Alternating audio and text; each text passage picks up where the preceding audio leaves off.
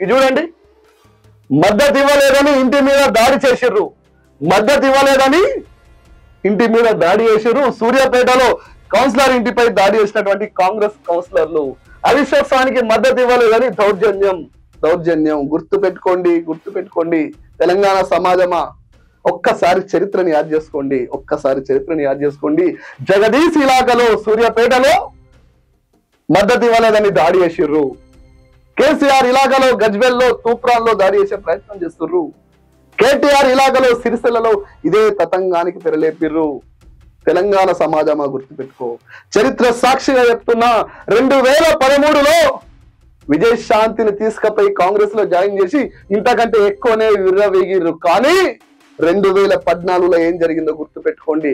సోనియమ్మకి ఇచ్చిన మాటను పక్కన పెట్టి టిఆర్ఎస్ పార్టీని కాంగ్రెస్లో విలీనం చేస్తా అన్న మాటను పక్కన పెట్టి తెలంగాణ ప్రజల్లోకి వెళ్తే పది సంవత్సరాల అధికారంలోకి వచ్చింది టీఆర్ఎస్ పార్టీ బీఆర్ఎస్ పార్టీ.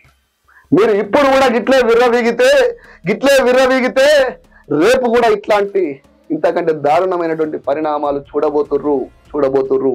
ఉన్మాద రాక్షస క్రీడ ఆడుతున్న ఇందిరమ్మ రాజ్యమా? ఒక్కసారి గుర్తు తెచ్చుకో తెలంగాణ చరిత్రను యాద్ చేసుకో.